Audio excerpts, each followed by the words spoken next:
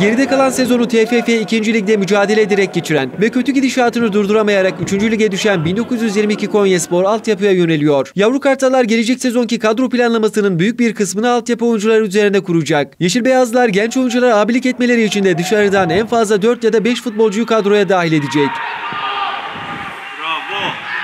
1922 Konyaspor mevcut teknik direktörü Ender Tıraş'la da yola devam etmek istiyor. Yeşil Beyazlı kurmaylar pazartesi günü Tıraş'la bir görüşme gerçekleştirerek yola devam etmek istediklerini belirtecek. Şener Aferin bir sürü topa dokunamıyorsun. Niye dokunamıyorsun? Bir önünüze alsan ilk dokun.